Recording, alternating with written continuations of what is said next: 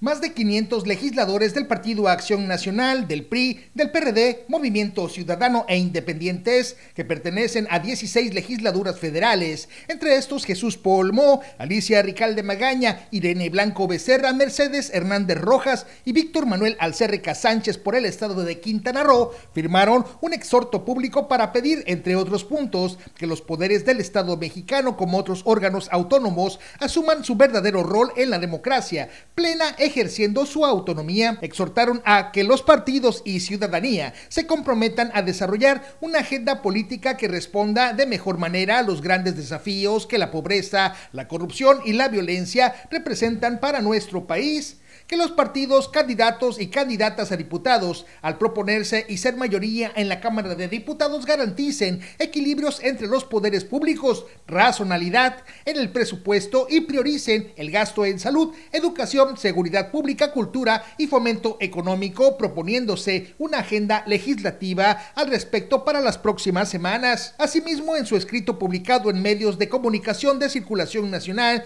refirieron a que la necesidad de la coyuntura por que transite el país debe procurar que la competencia partidista gire en torno a un fin común y no al debate sin puntos de encuentro, ya que nadie tiene la solución única para las complejidades que enfrenta el país, pues no se trata de colaboraciones entre afines, sino entre contendientes razonables, entre la búsqueda de coincidencias para el bien colectivo. Con imágenes de Abimael Monforte informó para Notivisión